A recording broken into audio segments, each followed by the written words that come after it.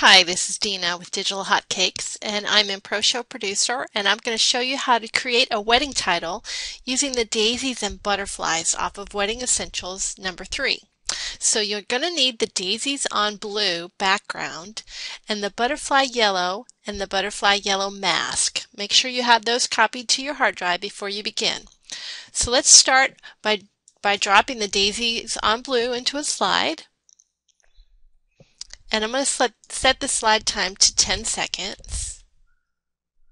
And double click on the slide to open the slide options. And let's go ahead and create our caption. So go under captions and let's create our title.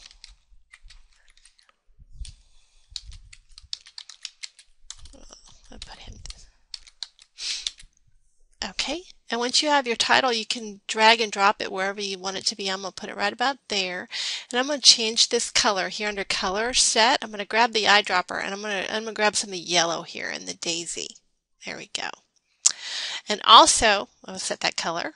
And also under our text effects, we want this fly-in to be a fade right. Okay, now we're going to set up some motion for this caption. So let's go under caption motion. And the first thing we're going to do is right click on keyframe number one and set time for this keyframe. We want to set it to one second. And then on our fly-in effect here, right click on the fly-in effect and set effect time. We're going to set that to 3.5 seconds.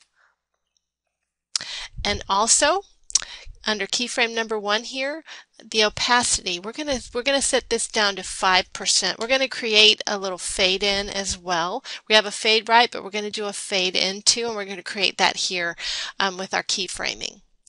So after you set that opacity to 5, go ahead up here to where the fly-in effect is, and we're going to go up and right-click on the timeline right at the end of that fly-in effect, and choose Insert. That's going to insert another keyframe for us. And that keyframe number two is right here and go ahead and, and, and set its opacity back up to 100%. Okay, now after that we got our, that, that should set up the timing for the appearance of our title. So now we need to add those butterflies. So let's go back under layers. We're going to add image or video and first we'll bring in the butterfly yellow.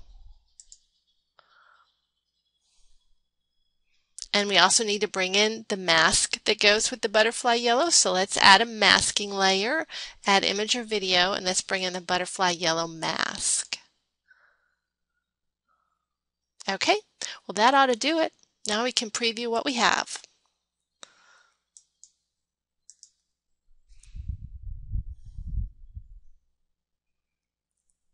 There you go.